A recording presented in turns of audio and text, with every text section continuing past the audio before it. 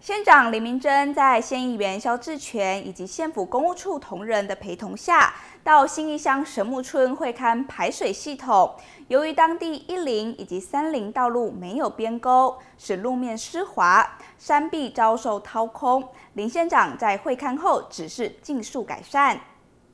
县长林明珍在议员肖志全、县府公务处相关人员陪同下，来到新义乡会勘神木村排水沟。神木村第一林及第三林道路因无边沟，造成下雨时野溪雨水往路边漫流，影响行车安全。而当地村民众多，为了确保行的安全，林县长在会看之后指示，尽速施作边沟，以确保土壤不再流失。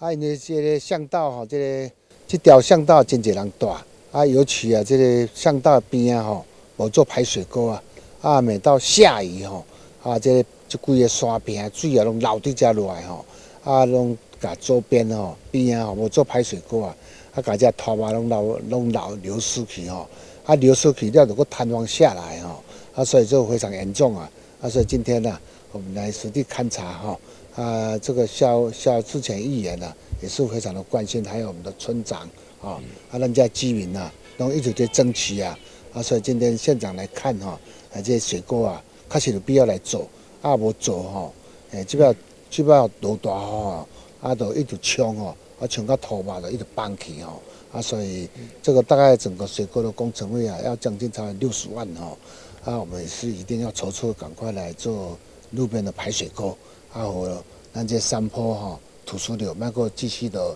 诶，这个造成吼。县长李明珍表示，原民地区有许多道路年久失修，或是当年施作时并无建制边沟。导致路面损坏严重，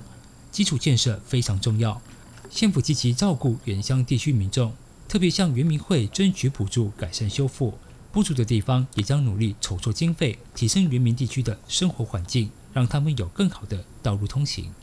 记者陈云志新义乡采访报道。